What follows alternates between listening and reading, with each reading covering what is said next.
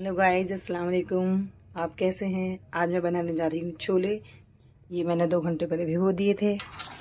अब मैं इसमें बॉईल होने रखूँगी। मैंने इसमें पानी डाल दिया है और अब डालने जा रही हूँ नमक। नमक मीडियम साइज़ के आलू डाल देंगे और उसके बाद लगा देंगे जैसे तीन हैं और हम गैस की फ्लेम को कर देंगे ऑफ़ अब चेक करते हैं। अब हम चेक करके देखते हैं इसको, कैसे है।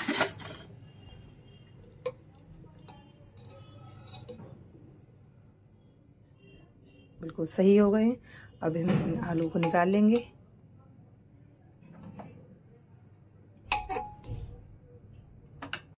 जैसे कि हमारे छोले बॉईल हो चुके हुए सॉफ्ट हो चुके हैं। ये प्याज, टमाटर, हरी मिर्च, ये मसाले हैं। हल्दी, मिर्च, धनिया, शिमला मिर्च।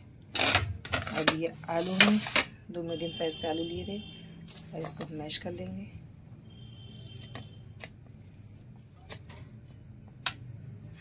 ऑयल हो चुका है हमारा गरम। इसमें डालेंगे हम ज़ीरा, हींग ये जो मीडियम साइज़ के प्याज काटे थे, इसको डाल देंगे। इसको फ्राई करेंगे।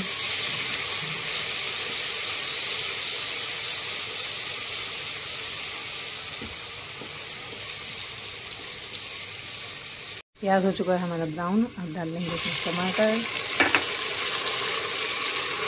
हरी मिर्च अच्छे से भून लेंगे।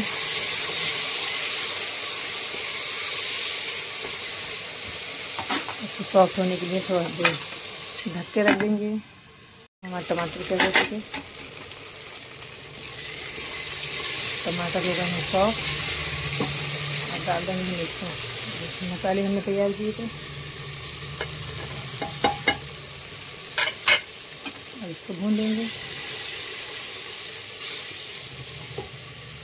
इसमें डालेंगे हम पानी। दो मिनट के भून लेंगे और हमारा मसाला भून चुका है।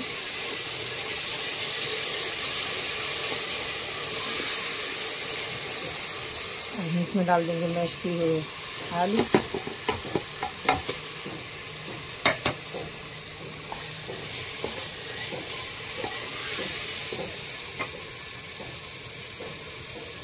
थोड़ा सा पानी डाल के अच्छे से भून लेंगे।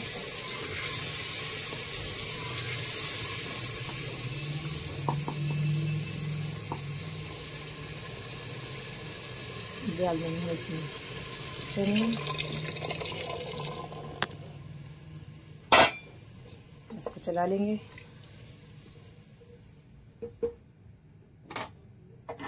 आप कुकर ढक्कन कर देंगे बंद। लगाएँगे दो सीटियाँ, फिर चेक करके देखेंगे। हमने आधा घंटे पहले चावल भिगो दिए थे और ये पानी रख दिया है। चावल डालेंगे। इसको चलाएँगे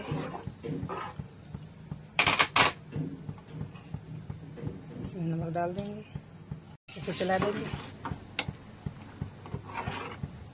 इसको पकने पकने के लिए छोड़ देंगे चावल चेक करते हैं कैसे हुए चावल हो गए हैं तैयार। अब हम इसमें से निकाल देते हैं पानी। फिर चेक करेंगे दोबारा से। हम अपने चावल चेक करते हैं। चावल हो गए हैं रेडी ये देखिए खिले खिले चावल रेडी हैं। अब इसको ढक देंगे। अब अपने हम छोले देखते हैं। छोले हमारे कैसे हुए? देखते हैं हमारे छोले कैसे हुए। छोले हो गए हैं रेडी अब इसमें डाल देंगे हम कसूरी मेथी। अब इसको चला लेंगे अच्छे से। अब हमारे छोले हो गए हैं रेडी और चाय वाली भी रेडी अगर मेरी रेसिपी पसंद आए तो लाइक करना सब्सक्राइब करना और कमेंट्स में बताना मेरी रेसिपी कैसी लगी। ओके अल्लाह हाफिज़।